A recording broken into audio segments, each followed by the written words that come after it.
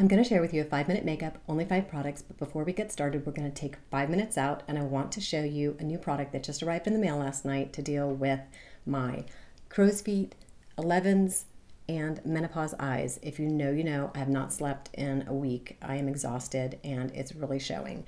And I'm also three months plus past Botox. But Peter Thomas Roth FIRMx eye treatment just arrived in the mail. I haven't tried it yet. I'm going to try it with you today and see if it works. And I'm also going to try it under my five minute makeup. So let's get started. I'm going to take a pea size amount or a half pea size amount.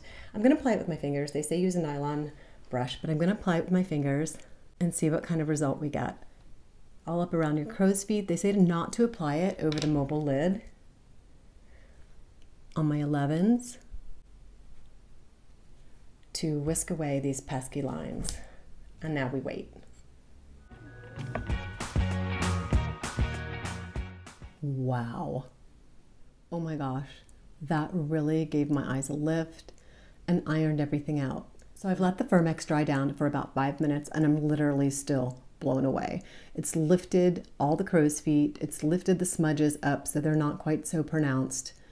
I am amazed. And my 11s are looking so much better. Now let's see if it works under makeup. Five minute makeup, only five products. I'm going to be starting with Best Skin Ever. I just got it at the Sephora sale.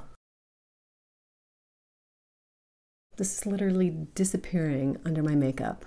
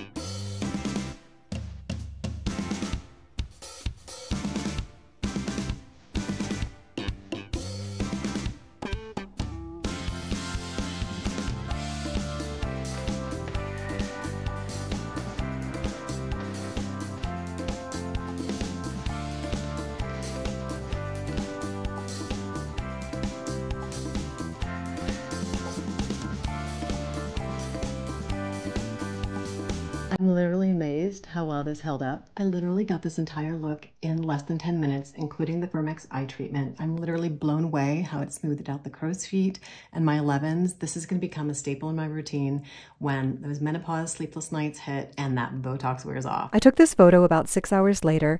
The lipstick is long gone, but the FIRMx is holding up pretty well. A little flaky around the brow and the crow's feet, but overall a lovely result for a temporary eye treatment.